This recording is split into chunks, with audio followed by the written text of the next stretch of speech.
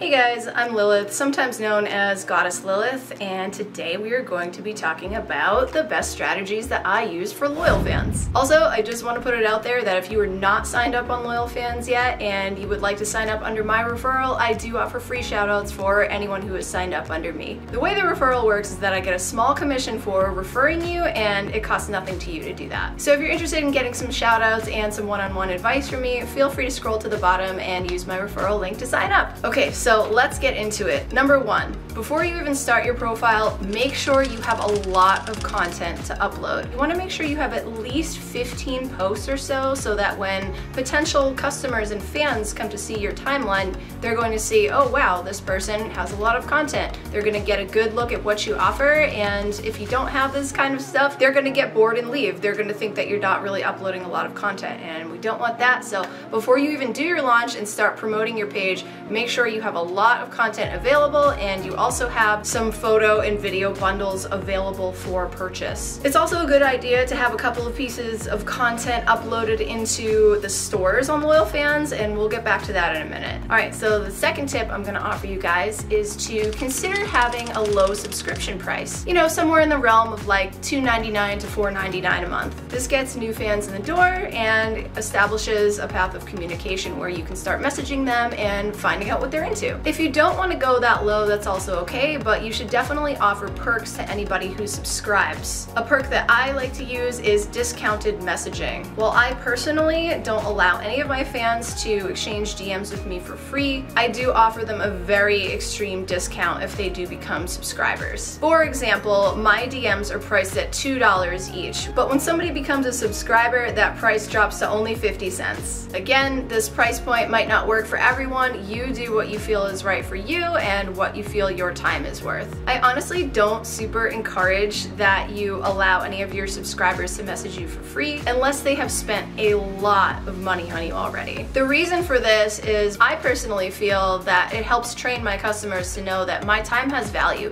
They can't just sit here and message me with like random chit chat or complaining. They understand that I'm an extremely busy creator and when I'm giving them my time, that is basically a service. All right, the next tip I have for you is probably kind of a no-brainer, but Post often. Every time you make a post on the timeline, you get bumped up in the list of creators that has recently updated. This is really good for the visibility on the Explore page, which is actually one of the nicest features that Loyal Fans has built in. Most other similar sites like OnlyFans do not have such an amazing directory of creators that customers can just log in and see before they even subscribe to you. And that's just one of the many reasons that I recommend it so highly, especially for new creators. I also want to mention that you should be mixing up the types of posts that you're making. You should only post public posts every once in a while, and these are going to be the types of posts that you also make on your public free social media. This gives something for potential new fans to come in and see before they're even following you. I personally do this every once in a while, but I also make a lot of posts for followers and subscribers. I tend to make the most posts for followers because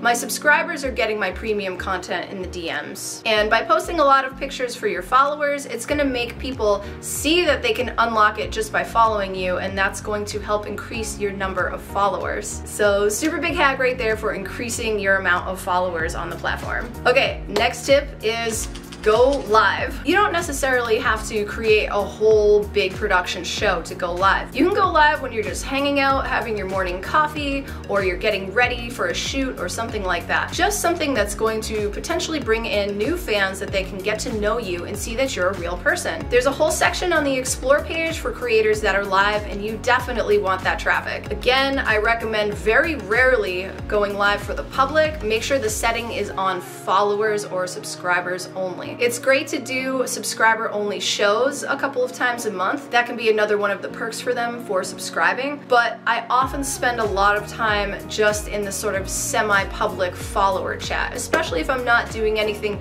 super intense like a show or anything. Again, what this does is it makes new people who just stumbled upon you want to follow you so that they can see what you're doing. Another little trick that I've picked up is that it can be really helpful sometimes to temporarily drop your subscription price to something like 99 cents or 199 and then go into live on subscriber only mode. This price point is low enough that a lot of random guys are willing to take the bite, even if they're not super familiar with you yet. And then once you get them inside, that is your chance to win them over. Okay, the next tip might be obvious to some of you, but if you're brand new and just starting, you're probably not gonna know this one. But the next tip is to make sure you're sending mass DMs frequently. Now these don't and they shouldn't always be paid DMs because that can feel overly salesy or sometimes spammy. People don't always want to feel like they're just constantly being sold something. They're there to hang out with you, they want to get to know you, they're not just there to buy content, they want to interact with you, the creator. So it's great to send mass DMs out sometimes for free,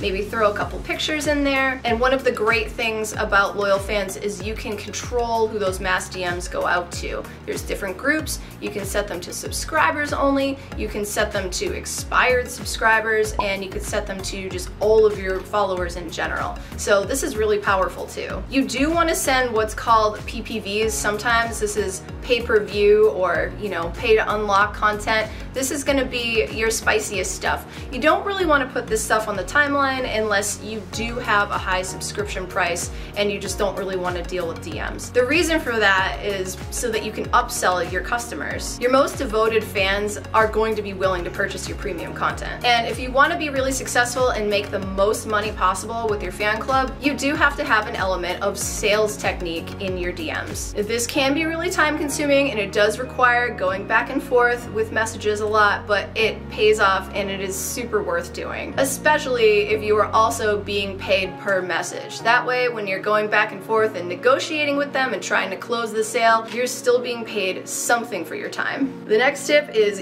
utilizing the stores within Loyal Fans. There are two different stores. There are the video clip store and the audio clip store. Before you even open up your fan club, it's a good idea to have a couple of pieces of content in each one of those stores. And they don't have to be super long, they can just be a couple minutes, they don't have to be high production. In fact, a lot of consumers really like when things kind of have an amateur vibe to them. It makes it more real to them. You should make sure to keep these updated as often as you can, even if it's just a few times a month, because it's also going to boost you back up into the Explore page again, and it's going to send a message out to all of your followers to let them know that you've uploaded some new content. Next tip, and this is a good one, Offer customs. Make sure your fans know that you are available for customs. With custom content, you can really make a lot of extra money because you're doing something specifically for them and you can add all kinds of add-ons such as saying their name, wearing a specific outfit that they want,